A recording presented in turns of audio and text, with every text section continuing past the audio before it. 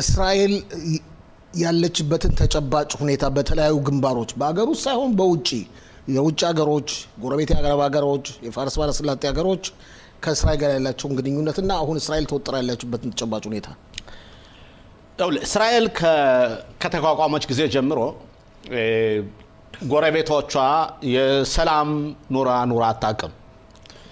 በተለይ መጀመሪያ እንደተቋቋመቻት ዓመታት በስልሳው ክፍለ ዘመን በሰባው ክፍለ ዘመን እስከ ሰማንያው ክፍለ ዘመን የመጀመሪያ አካባቢ ድረስ እስራኤል በአረብ ሀገሮች ተከላ ከሁሉም አገሮች ጋር ሁሉም ሀገሮች ጠላቶቿ ነበሩ። ሱሪያ ጠላቷ ናት፣ ሊባኖን ጠላቷ ናት፣ ዮርዳኖስ ጠላት ነበረች፣ ግብፅ ጠላት ነበረች። እነዚህ በዚያ የሚያዋስኗት ሀገሮች ማለት ነው። የሚገርምህ ግን አዛ ወዳጆቻችን ነበሩ። ይሁዳ በሸምሮን ያሉትም ወዳጆቻችን ነበሩ እና መጨረሻ ላይ ግን ይህ ጉዳይ ከእስራኤል በጦርነት ካሸነፈች በኋላ አንዴ፣ ሁለቴ፣ ሶስቴ በተለይ በስድስት ቀን ጦርነትና በዮም ኪፑር ጦርነት ካጠቃች በኋላ የአረብ ሀገሮች አቅማቸውን በመገመት ወደ እስራኤል ሰላም የሚለውን ሂደት የጀመረችው ለመጀመሪያ ጊዜ ግብጽ ናት። ከግብጽ ከዛ በኋላ ዮርዳኖስ መጣች። ከዮርዳኖስ ከመጣች በኋላ ከፍልስጤሞች ጋርም በኦስሎ ስምምነት ሰላም ድርድሩ በሁለት መንግስት ይቋቋም የሚለው ሂደት ተጀመረ።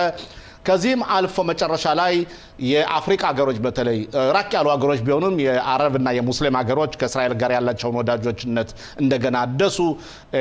የሚገርመው በአብርሃም በሚባለው ስምምነት ቢንያሚን ናታንያው ከባህሬን ጋር እና ከተባበሩት አረብ ኤምሬት ጋር ያደረጉት ስምምነት እና ከሊባኖስ ጋር ደግሞ በጣም የቀረበ ወዳጅነት በማሳየታቸው እንዴት የቀረበ ወዳጅነት ሳውዲና እስራኤል ብዙ መረጃዎች ይቀያየራሉ።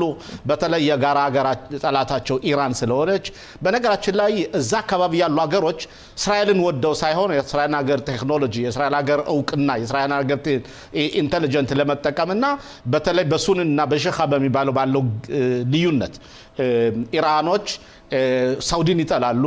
ከዛ አካባቢ ያሉትን ሀገሮች ሁለት ነገር ነው እኮ የምናየው። ስለዚህ እንድታብራራልኝ ሁለት ነገር ነው የምናየው። በአንድ በኩል በጣም አክራሪ እስራኤል ለመደምሰስ የሚፈልጉ ሀገሮች አሉ። አንድ ሀገር ነች፣ ትልቅ ሀገር ነች ኢራን። ተከታዮች አሏት፣ ቅጥረኞች እንደነ ሂዝቦላ የሊባኖስ ሂዝቦላ የመሳሰሉት። በሌላ በኩል ደግሞ እንዳልከው የአብርሃም ስምምነት መሰረት ሌሎቹ የፋርስ ሰላጤ ሀገሮች ከእስራኤል ጋር የሰላም ስምምነት ላይ ደርሰዋል። ከእስራኤልን መተናኮል አይፈልጉም። እኔ እንደሚመስለኝ ከሆነ የዚህ ሀገሮች የሰላም ወዳጅነትና ፍላጎት እንደቀጠለ ይሄዳል ይጨምራል ብዬ ገምታለሁ። ወደ ኋላ የሚመጣ አይደለም። ምክንያቱም ሰላም የምታደርገው ያንተ ፍላጎትና የኔ ፍላጎት ሲኖርና የጋራ ጥቅማችን ሲኖር ነው። ግን ኢራን ትሰጣቸዋለች ሁሉ አሁን ለምሳሌ ከባህሬን ጋርና ከተባበሩት አሚሬት ጋር ያለው ወዳጅነት በጣም የሞቀ ወደ ስለሆነ በተለይ የአረብ አሚሬቶች የሚያደርጉት ያላቸው ቤኔፊት ከእስራኤል ወዳጅነት ጂዲፒያቸውን በጣም ከፍ አድርጎታል።